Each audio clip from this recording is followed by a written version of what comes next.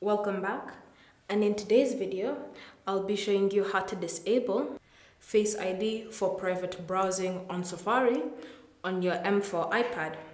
So you'll have noticed that when you want to go into private browsing that you need your Face ID to unlock the tabs that you've put in private. To get around that, go to settings, go to settings and in settings scroll and select apps and under apps look for Safari.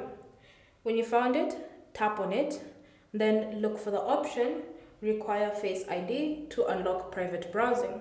So tap on the toggle to disable this feature and then use your face or passcode to confirm your choice.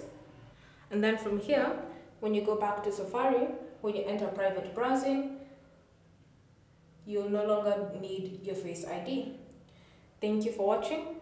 If you have any questions or comments, leave them down below and we'll get back to you.